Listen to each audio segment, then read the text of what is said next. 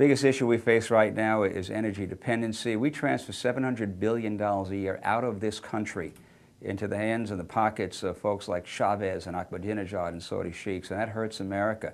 And the way you're going to change that is you've got to put everything on the table. Uh, simple, uh, we're going to produce more energy and we have to consume less. So it is a, about uh, renewables, it is about conservation, it's about new technology, battery technology, fuel cell, and ultimately fusion. Uh, it's also about production.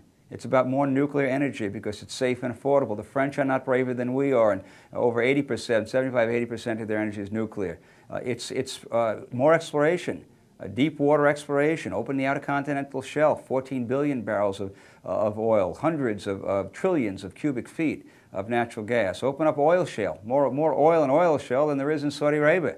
Uh, and so you gotta, you know, it's a kitchen sink approach. Do it all, safe, environmentally the, the right approach, but we can, we can drill more, we can explore more, uh, we can uh, do more with conservation, we can do more with renewables.